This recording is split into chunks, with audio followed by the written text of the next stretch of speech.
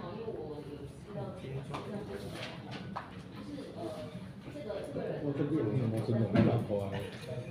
电台，电台其实它有好多的目的性，那工作的时候他需要跑台，就是老老师还看过。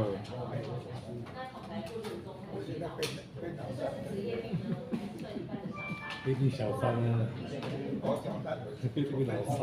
那刚呃，这个来提到一个蛮蛮重要的问题，就是我们在职业保险起步其实大致可以分成职业伤害跟职业病。那职业伤害呢，它是比较偏向比如工作中某次的受伤这种情形造成的。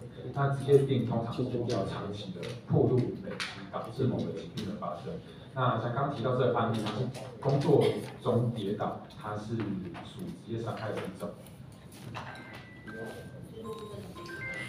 是，它是职业伤害的一种，但是职业伤害跟职业病呢，他们在职业保险的权益都是一样的，一样有刚刚提到的那些给付的项目，还有呃工作强化训练的资源。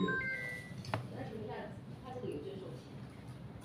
通常劳保的话，要在五年内申请。